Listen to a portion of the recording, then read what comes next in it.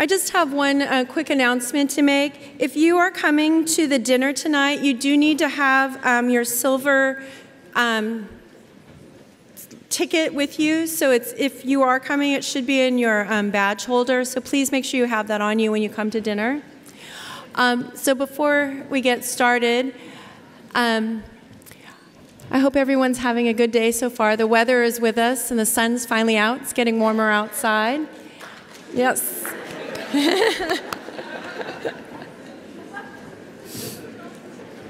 All right. So I'd like to introduce Umit Davasligil, who will be introducing um, our remote uh, keynote speaker for this afternoon.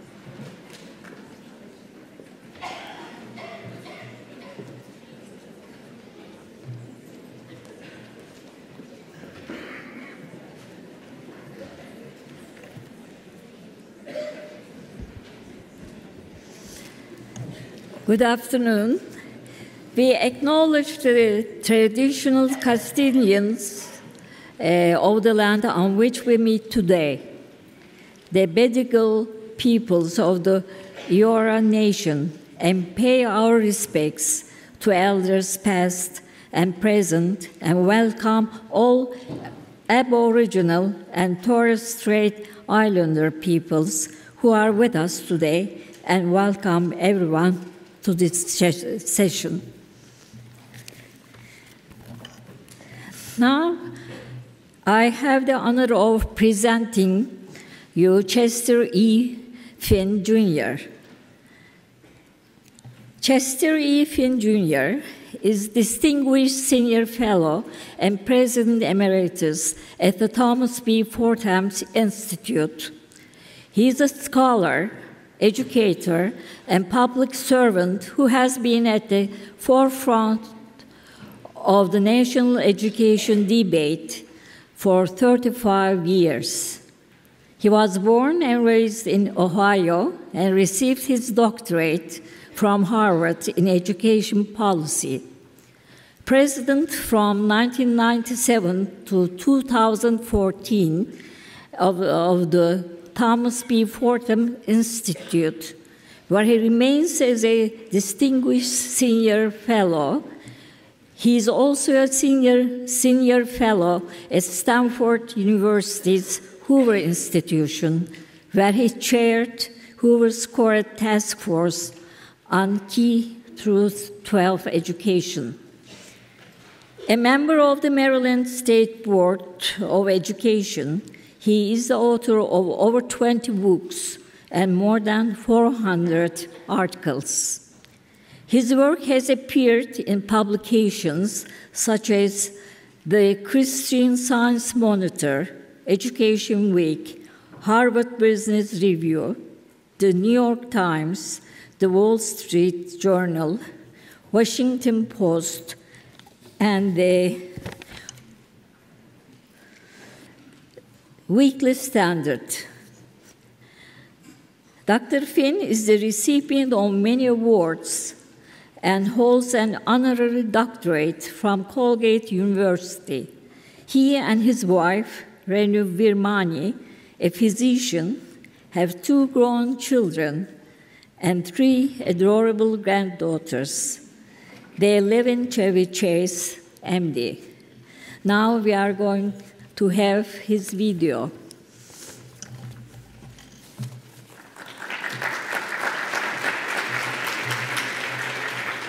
Greetings. This is uh, Chester Finn sitting in a, uh, sealed dim room in far off Washington, D.C., wishing I were with you in Sydney, Australia, um, but making the uh, best of a very wide Pacific Ocean gap. Uh, grateful to Jennifer Jolly for enlisting me in this conference, and grateful to Julia Roberts for taking on the job of chairing this session and leading the discussion that uh, I trust will follow uh, these slides and these remarks. Uh, as you have already gathered, about a year and a half ago, my colleague Brandon Wright and I published a book, book on your screen right now, Failing Our Brightest Kids, the global challenge of educating high ability students. Uh, the focus of our session now is on high ability disadvantaged students, but uh, uh, bear with me as we go through some of what we learned in the course of the book. Um, much of it about the United States, but a lot of it about other countries as well. Uh, and uh, let me say at the outset that I hope this uh, proves helpful in the conversations that you're having on what I believe is one of the um, biggest challenges in the world of gifted education, which are high ability disadvantaged kids who really depend very heavily on the uh, formal education system uh, rather than on their parents and uh, private dollars to help them navigate to the best education that will make the most of their abilities. Uh, our, book, really, our discussion comes under four big headings uh, the status of gifted education in America today, the obstacles and challenges that are in the way of it doing a better job, some lessons we learned in, uh, and they're spelled out at great length in the book about what some other countries are doing, and some ideas for the future. Uh, particularly the future of how we might do this better in the United States and and why that's going to be hard to do.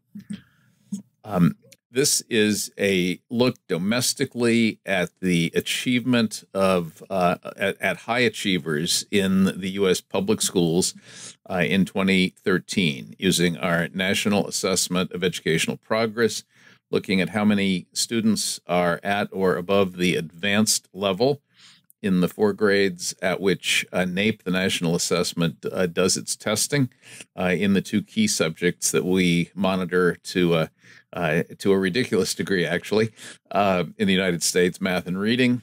Uh, as you will see, uh, in 2013, uh, fewer than 10% of all our students uh, were at or above the advanced level in either subject. and indeed, when you get to 12th grade, the end of high school, we're looking at just 3% in math and 5% in reading. Um, this is pretty uh, this is frankly pretty pathetic. Uh, if you look closely at this slide, which is based on PISA, TIMSS, and PIRLS, uh, you'll see that uh, what we've done uh, is give the percentage of high scorers in each of the countries named here. These are the countries that are part of this study and are uh, described each in their own chapter in this book. Uh, and uh, the United States is at the top and in boldface, as you can see. So, for example, in PISA uh, in 2012, uh, the U.S. had 9% uh, of its uh, test takers at the high achieving level in math, 7% in science, and 8% in reading. As you probably know, uh, PISA divides its scores uh, across uh, seven levels from zero to six. Uh, and we have defined high scorers uh, for this purpose as students reaching levels five and six. Um, in the case of TIMSS and PIRLS, scores are split into five levels, uh, and a high achieving student is is judged to be one who reaches at least uh, 625 on the relevant scales. Uh, that's what we use as the cutoff for the TIMSS and PIRLS uh, data. As you can see, not every country took part in uh, TIMSS and PIRLS. Uh, but if you look uh, now at other country scores, uh, you'll see that they go up to, for example, an awesome 40% high scorers in Singapore in in PISA math and 43%, 48% actually, in math grade eight in Singapore at the high scoring level the main thing that emerges from this table uh, is that, with the exception of Hungary, um, basically every country we looked at uh, did better than the United States uh, in terms of getting uh, children into the high scoring levels. The main exception uh, being the PIRLS fourth grade reading test in 2011, uh, where the 17% in the US uh, did better than a number of other countries. Uh, 17% is is certainly respectable, uh, but grade four is early days for these children in school. Um, at the very bottom of the table, you will see the U.S. rank among all OECD countries, um, and uh, you will see that uh, uh, it's not it's not great, uh, especially when we get beyond fourth grade. Uh, the two places where it looks pretty good, the three places where it looks pretty good, are TIMSS math grade four, TIMSS science grade four, and PIRLS reading grade four. Um, in everything else, uh, we got a long way to go. Uh, the PISA scores for us look worse than the Tim scores and the Pearl scores, um, and that's that's frankly a topic for another day, which is the differences among these several assessments. But I think you've got the picture, um, and uh, you can focus if you like on PISA because many of the slides that follow uh, rely on PISA data. Uh, this just summarizes what I've said. On PISA, 27 of 34 OECD countries get more kids into the high levels in math. In science, 20 of 34 do better. In reading, 18. Uh, on TIMSS, roughly half the test taking OECD countries do better in eighth grade math, uh, and six out of 14 do this in eighth grade science. Our headline obviously is weakness. That refers to the U.S. performance, uh, but uh, some of the other countries don't do so great uh, in in in this either. Uh, okay, now this this slide takes a careful look. The horizontal axis. This is uh, this is PISA Math, uh, 2012. the horizontal axis for each of the is for each of these countries the percentage of that country's test takers that made it into levels five and six on PISA math. Uh, the vertical axis is the average score that that country's test takers got on PISA math in 2012. Um, you can see that the um, the, the, the slanted line uh, is uh, is pretty revealing here, and and and the most obvious thing it reveals is that um, countries that did well on average also did pretty well at getting a lot of students into high levels. If the average score is high, the percent of students um, at the high end um, is is is pretty high. Um, and you'll see that the uh, the so-called Asian tigers, uh, Japan, Korea, Taiwan, and Singapore, uh, at the upper end, um, and you will see that uh, um, the English-speaking countries um, are pretty much at the lower end, uh, with basically uh, Finland and Germany and Switzerland and Canada basically in the middle. And the, the OECD average is is right down there next to the United Kingdom, uh, better than the U.S. Uh, the U.S., as I mentioned earlier, is a little better off than Hungary. Um, but uh, uh, it shows us that we've got a long way to go in both the average score and the number of high end students um, taking the test. Back to domestic data. Uh, this is back to NAEP Advanced in eighth grade math, and this is comparing uh, kids who are eligible for the federal subsidized lunch program and kids who are not eligible. Not eligible means they come from more prosperous families. Uh, eligible means they are poorer uh, economically. This shows scores over a three year period uh, over a three assessment period from 20, from 2005 to 2013. Uh, the top bar in each case being the 20, the newest one. Uh, the good news here, of course, is that the percentage of uh, students at the advanced level is rising, uh, both among the eligible kids and among the non-eligible kids. Uh, but if you look closely, you will see. Actually, you don't have to look closely on this one. It's vivid the not eligible kids um, have their percentages rising at a much faster clip uh, than the eligible kids, which is to say, uh, relatively prosperous kids, kids from relatively prosperous families, um, are making gains at the high end that are not visible um, among their uh, eighth grade classmates uh, who are less prosperous and therefore eligible for the federal subsidized lunch program, which is incidentally about half of all students uh, today in U.S. public education. So this comes pretty close to a 50 50 split uh, within the student population. You could call the upper part the relatively more prosperous half of the student population, and the lower part the, the less prosperous or poorer um, half of the student population. Uh, we're sticking with uh, what we're calling the excellence gap domestically, this time not by income, but by parent education. Uh, this looks at the same data, uh, NAEP advanced level eighth grade math, uh, but it divides the test takers over those same three test administrations by the level of education of uh, of at least one of, of their better educated parent. Uh, so a parent at the top uh, has graduated college. A parent at the bottom did not finish high school. Um, once again, you see what you probably expected to see, which is that the better educated the parent, the uh, more high achievers among their kids. Uh, you also see gains across the three test administrations at every level.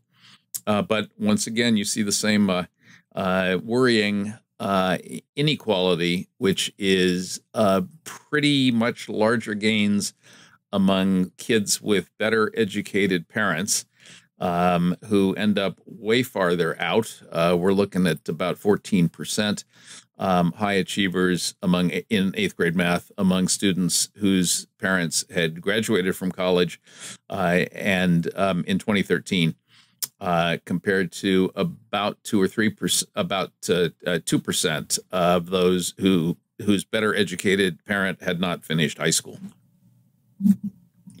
Now we look at the exact same thing by race. Uh, once again, this is um, NAEP advanced level eighth grade math, roughly the same period of time. Uh, this is a decade from 20 oh, from 2003 to 2013. Uh, each dot is, of course, a test administration. Uh, these are percentages at or above the advanced level by race. Uh, as you will see, you're probably not surprised. Um, Asian American kids um, doing best and getting better and getting better at a faster rate. Um, white kids, the uh, bar in the middle, uh, and African American and Hispanic kids, the bar at the bottom. Some gains, to be sure, uh, but those lines are pretty close to flat. Uh, most vividly when you compare it with the um, with the line showing the Asian student achievement. Back to international.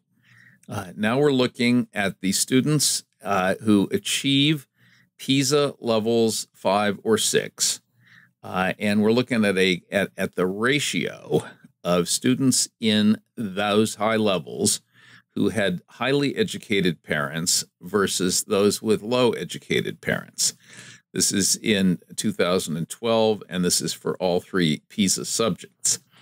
So, to the way to read this chart, let's just look under math, the first column. Uh, in Korea, uh, there were two and a half times as many high scorers in Korea uh, with highly educated parents than there were in Korea with poorly educated parents. Uh, in the United States, the same ratio is almost six to one. Uh, and um, much the same pattern prevails as you look across uh, the United States. Uh, these ratios are, are pretty scary.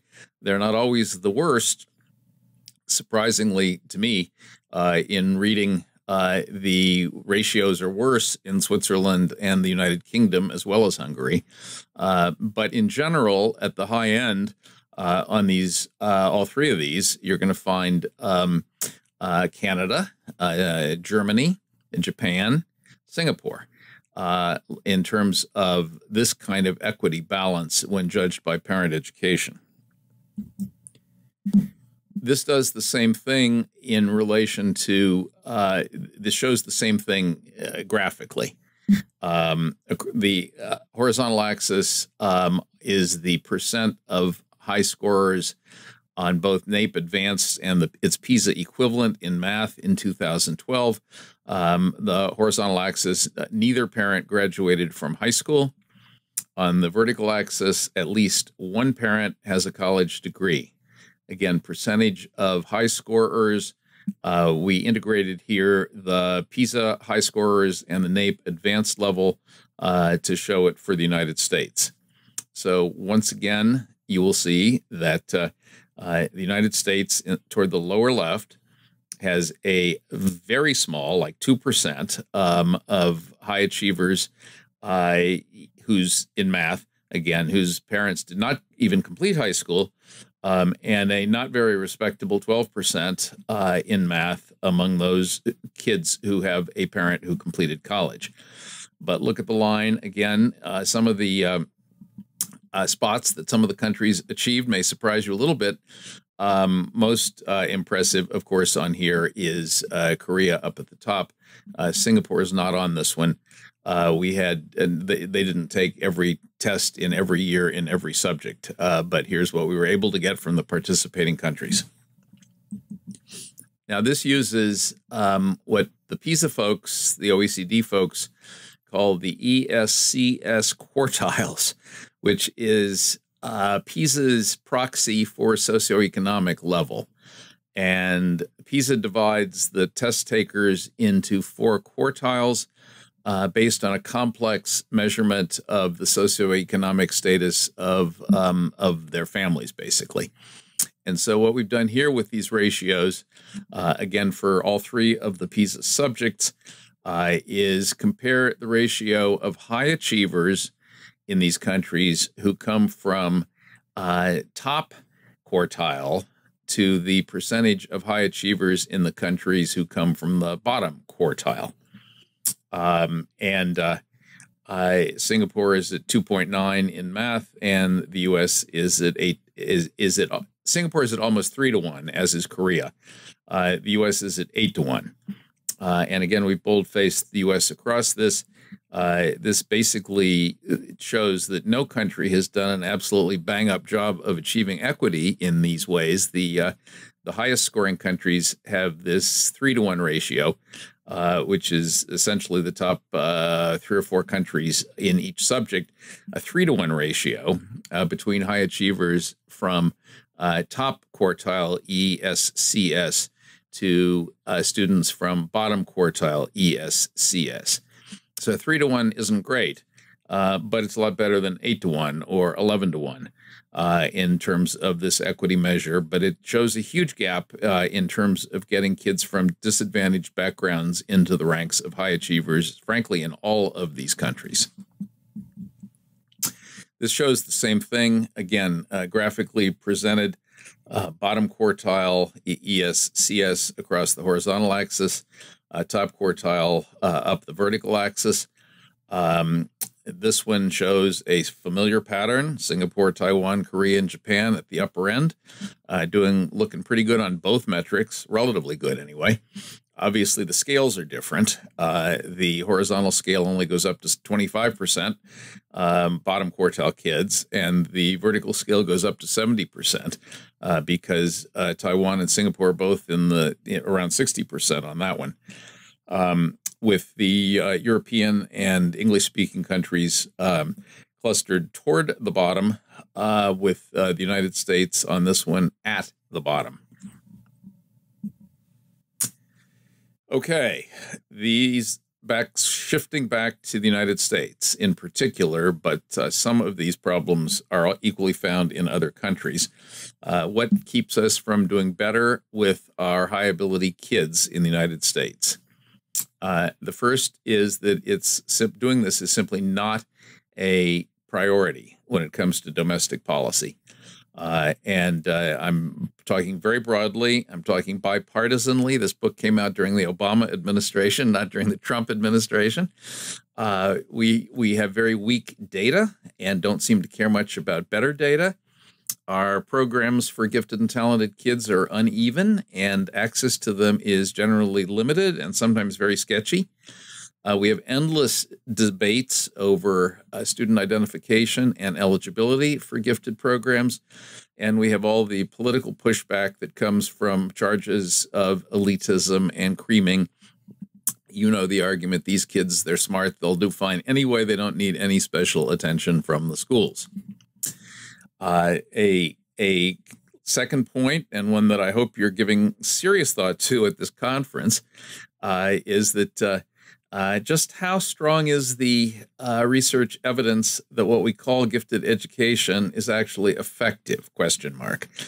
Uh, so far as Brandon and I could tell, the only form of gifted education in the U.S. that has uh, uh, reasonably robust evidence of effectiveness was is student acceleration, and Uh, not much else. Uh, I think this is a serious research challenge uh, for the gifted education field going forward, and I don't think it's limited to the United States.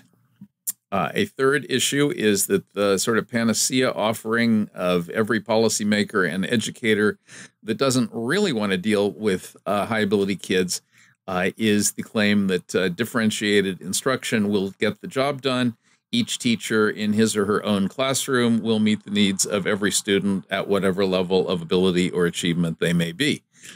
Well, it sounds good on paper, but it's really hard to do in the real world with a wide sp- spectrum of ability and or prior achievement in a classroom. Um, and uh, many teachers find it um, an insurmountable challenge. Uh, and many teachers, though trying to do differentiated instruction, find themselves concentrating on uh, uh, low achievers and middle achievers, sort of the middle of the class, and those who are lagging, uh, and not paying very much attention to the high achievers who have already mastered the lesson uh, and ready to move on. Uh, we decided to uh, look at some other countries and ask how they're tackling these problems, uh, why their results in most cases are better, and has anybody got this nailed? What countries did we choose? Uh, it's a long story as to why we chose them, but uh, uh, take my word for it, this is where we ended up. Um, four Asian tigers, um, three Anglophone countries, um, England, Ontario within Canada, uh, Western Australia within Australia. As you know, those are, are federal structures. Um, and then in Europe, uh, Finland, Hungary, Switzerland, and um, and two of the Länder in Germany, uh, Bavaria and Berlin. Again, another federal structure. We went to all of them.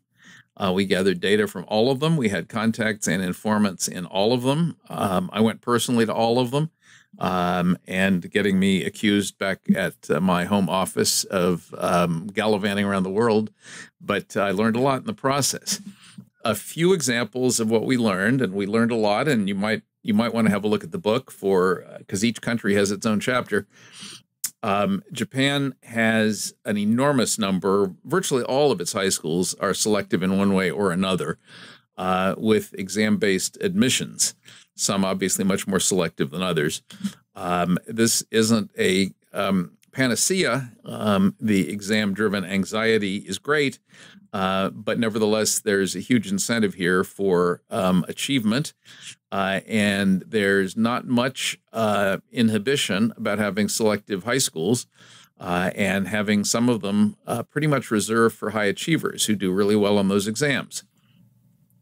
Singapore has a very different approach with universal screening of all its kids in third grade, um, and then separate full time gifted classrooms uh, in the middle grades, uh, feeding into uh, some uh, secondary programs that. Uh, uh, basically maintain the same the same pattern, though they're though they're organized differently downside in Singapore, of course, is that um, really just one percent of the middle grade students, at least when I was there, got into got were admitted into the full time gifted classrooms in the middle grades. So universal screening, and I'll come back to this, I think is a fine thing. Uh, limiting the uh, fruits of that screening to 1% of the kids uh, in the country is not maximizing all of the talent that's there to be maximized in the country. Western Australia, when we were there, was practicing universal screening in fourth grade. Uh, and then it actually didn't have a heck of a lot for those kids in the grades that followed. Um, after school really was the main were the main offerings. Uh, though policy was under revision and and and rethinking. Um, but a handful of um, high schools had uh, separate gifted uh, student sections and two of the high schools were limited to gifted high school students. Um, uh, both of them in Perth, and uh, with a residential component uh, of each for uh, able students from the from the outback, which, as you know, in Western Australia is is very big indeed. In uh, Germany, we found special sections for high ability students in some of the gymnasia, uh, and these being uh, highly attractive and highly highly selective, highly competitive. Ontario, Canada uses a very very different approach. It defines gifted education as part of special ed, um, and that brings both benefits and drawbacks. Uh, certainly, benefits in terms of resources, uh, drawbacks in terms of what you might call special education red tape uh, and bureaucratization. Um, and also some limits in Ontario, at least when we were there, on how many uh, students could be defined as gifted within special education, um, and which led some other secondary schools to become kind of de facto uh, gifted education secondary schools for those that didn't fit into the special ed version of gifted education. I hope that's reasonably clear. Um, if not, please read that chapter on Ontario. Uh, we we found five common threads around the world. I mentioned one already, which is that countries that do well on international measures in general mostly also do well at the high end in terms of producing high achievers. Uh, we concluded, however, that um, a general ri- rising of the tide won't solve the U.S. problem uh, because we have too few high scorers today uh, and way too few disadvantaged kids among the high scorers.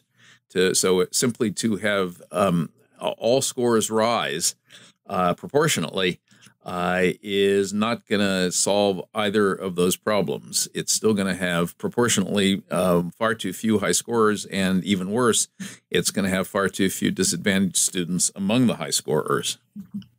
Second common thread is that uh, uh, many countries uh, do better than the U.S. Uh, in serving their uh, low income or disadvantaged children of high ability. Uh, but we were struck by how few of them strive in a systematic way uh, to draw these kids, these disadvantaged kids, into whatever it is they have by way of gifted gifted education programs. Um, the results are better. Um, those three to one ratios that I mentioned versus eight to one ratios, um, but uh, the uh, entry into the opportunities for uh, high achievers is not very systematic in outreach to disadvantaged kids. Um, a third consideration is that while there's a lot to be said at the high school level in most of these countries, uh, most of the gifted education offerings in the early grades and the middle grades are uh, patchy, um, often thin, uh, frequently uneven in terms of which kids get access to them, which uh, neighborhoods and cities get access to them, even in the U.S., which states um, uh, provide access to them. Um, fourth, as I mentioned, every place has some selective admission high schools or parts of schools, with schools within schools, they're sometimes called, that are attended primarily by high achievers. So uh, every place the picture is somewhat brighter at the um, high school or upper secondary level uh, than in the early and middle grades. Um, and finally, uh, we were not the first to to learn. Uh, this is pretty pretty well known finding um, that the beliefs, the cultural beliefs in a country about the role of schooling, uh, really affects um, what happens in the schools. If a society sees a school as a place where children must learn if they're to get ahead in life, uh, learning tends to occur in that school. If, on the other hand, uh, it is viewed as a place to socialize and play sports uh, and solve other social problems, uh, less learning is likely to happen in that school. Uh, it's essentially impossible for schools to do everything. And if their focus is on academic learning, that's what they do. If their focus, whether on the part of educators or just on the part of the parents and students uh, is on non-academic uh, elements of schooling, then less academic learning is likely to occur there. This is pretty self-evident. What to do differently in the U.S.? Uh, a few things are comparatively easy reforms we could and should undertake. Most obviously, place this on the policy agenda um, and uh, rekindle an old debate going back to the 1960s in America about whether we can have a society that pursues both excellence and equity uh, with equal fervor.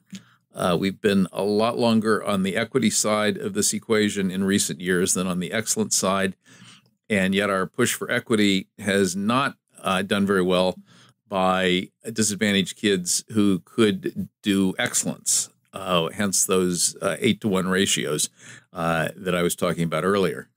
We obviously need stronger data. We need much better research. We need many more robust evaluations.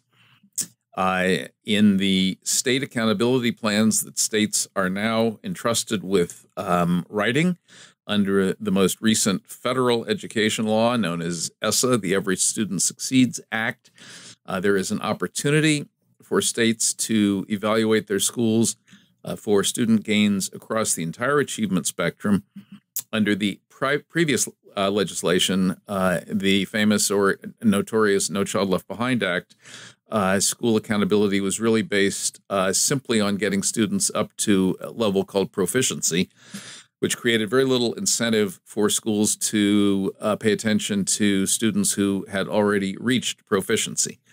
Um, ESSA is an opportunity which some states appear to be starting to seize and others not so much to judge schools for student gains across the spectrum, uh, such that a high achiever would school would, of a high achiever would get rewarded if that high achiever got even higher um, on the achievement spectrum. Uh, I think this is a, a, a, rare and special opportunity, and I hope we're able to make something of it in the U.S. Then there are the harder reforms, the more challenging reforms. Um, Brandon and I came to favor universal screening of all students uh, around third or fourth grade. Um, we think that the simplest way to do that would be to use the federally mandated achievement tests in reading and math that everybody has to take in starting in grade three, um, and then ask for teacher recommendations to supplement that. Um, and uh, uh, but do this for every separate school or community, not for the whole state. Uh, if you just look for high scorers across the whole state, you will perpetuate um, inequality. If you look for the high scorers in every school, uh, you will get a much broader representation of the American demographic.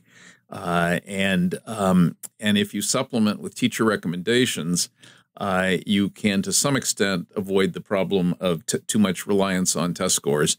Uh, we would also ask teachers to look for that kid with a gleam in her eye, uh, the one that may not be getting really high marks on the tests right now, but in the teacher's estimation, uh, could do so much better, uh, and include those kids. Our suggestion uh, is aim for approximately 10% of students in every school or community as at least being eligible for some version of gifted education. Uh, a huge heavy lift, although uh, one that's gaining a little bit of interest across the U.S., would be some kind of mastery based school progress uh, instead of everything being attached to students' age and grade level. Uh, right now, we assume that uh, uh, everyone that's um, 11 years old belongs in something called fifth grade and that they should be taking the meeting the fifth grade standards studying the fifth grade curriculum and being judged by the fifth grade test at the end of the year. If instead we allowed or enabled students to move through school at their own speed, um, we and ex- encouraged acceleration of, of everybody, uh, we'd have a we'd do a much better job for high ability students and for men, everybody else. In in in my opinion, uh, why it's hard though is because this would disrupt so many of the familiar structures and assumptions uh, that are built into our our uh, cumbersome and enormous uh, public education system. Uh, once you do away with the assumption that every fifth that every 11 year old belongs in fifth grade, uh, you are having to reorganize the school in radical ways. You are having to reorganize uh, teacher assignments, maybe teacher preparation, maybe teacher expectations in radical ways, and you are jolting parents who want to know is my daughter in fifth grade or sixth grade or seventh grade? Don't give me some mixed answer. I want to know what grade she's in. Uh, well, if we did away with um, traditional age grading, uh, that question would be harder to answer. And a lot of parents might be frustrated. Uh, number six, um, uh, pretty obvious. We recommend flexible ability grouping um, by in classrooms and by subject, uh, not uh, the presumption that differentiated instruction will solve all problems. Uh, we think that multi-age and multi-grade groupings in classrooms uh, would work better than what we're doing right now. And of course, uh, blended learning, taking advantage of technology, uh, can make uh, much of this um, a lot more viable, um, affordable, uh, and I think flexible. Um, outside class, um, not just relying here on schools, supplemental learning opportunities uh, are are very valuable for for high ability students and for everybody else. Um, and we ought to be thinking more holistically about the learning experience, the learning opportunities. Uh, three more hard reforms. Uh, we should really start young. Uh, look for um, high, potentially high achieving or high ability students uh, when they're young. Not wait until they're heading for high school. We'll do much better at equity in this realm if we start young uh, and cultivate talent from the beginning than if we wait to see whether it emerged on its own somewhere, somehow. Uh, both private philanthropy and governments uh, should be supporting uh, curricular and pedagogical, and I would add structural innovation in this realm. And I guess it goes without saying that every school needs at least some staff members uh, who are knowledgeable about educating smart kids. Um, some today, some schools have that, and some schools don't have that. Um, our summary, I think uh, you scarcely need it at this point. The U.S. is not doing well by its able students. Uh, a number of other advanced countries do better. Uh, a rising education tide won't lift enough of this boat high enough. Uh, the challenge is worth facing, especially for able poor kids.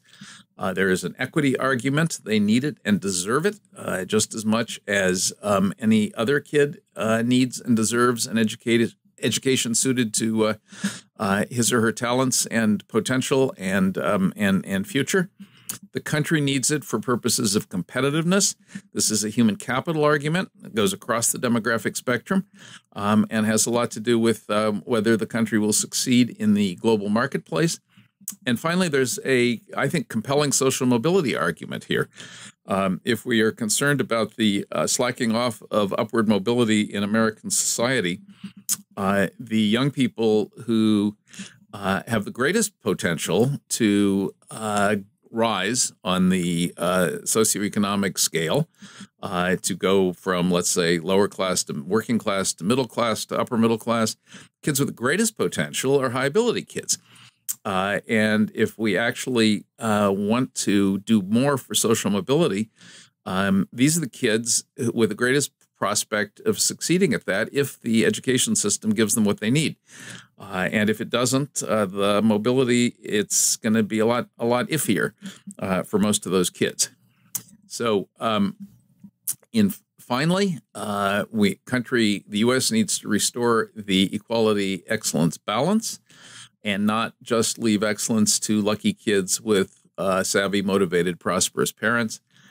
And we all need to take on the enemies of gifted education. Um, ideology and political correctness that says um, uh, these kids um, are already privileged and we shouldn't do any more for them. Fallacious theories of education that assume that things like differentiated instruction will, will meet their needs. Uh, endless disagreements over who is gifted and who qualifies. Uh, and of course, vagueness about what exactly to do for them. Uh, we obviously need to take advantage of the new policy opportunity that has been thrust upon our 50 states under the uh, under the federal ESSA law. Uh, that concludes my presentation. I appreciate your attention. I hope I've had your attention. Uh, and I now uh, defer you to the capable hands of Julia Roberts for what I hope will be a lively and engaging uh, discussion of these and related issues. Let me thank you once again for the opportunity to uh, uh, be with you remotely uh, and to say once again um, how sad I am that I can't be there in person. Let's take just a couple of minutes and talk together. I want to raise a couple of questions, and I must tell you that the data presented won't make those of us from the U.S. feel really proud. But the fact is, these are facts, and that we need to be talking about them. The first keynote today highlighted a downward trend in achievement in STEM subjects. Dr. Finn has a similar message. Talk with a neighbor for just a minute as to whether that is true where you are. Just a minute, talk to someone.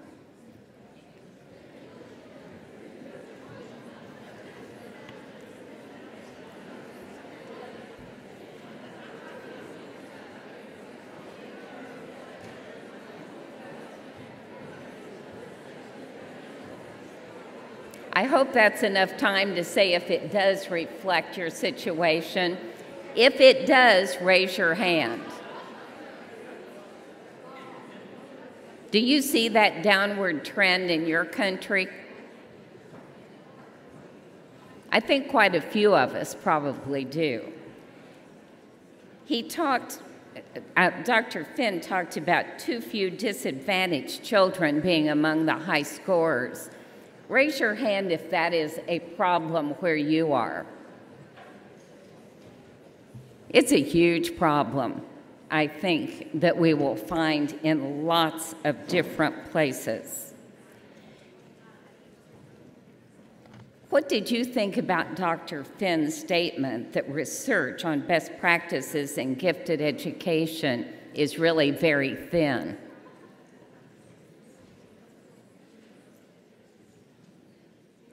That's actually a problem that all of us can work on as we think about questions and address them in our particular field. What makes a discipline strong is a good research base, and that's something that we need to be thinking about. Oh my goodness, there was a lot of food for thought in the comments. If we were even looking at the very last recommendations that he had, and I hope all of you will take those with you, think about them, talk with your colleagues, because what we want to do as a field and as an organization is advance what we know and what we're able to do for gifted young people the World Council for Gifted and Talented Children is an advocacy group, and we advocate best when we have good data to depend on. Thank you for being at this session, and I look forward to seeing you at the next one. Thank you.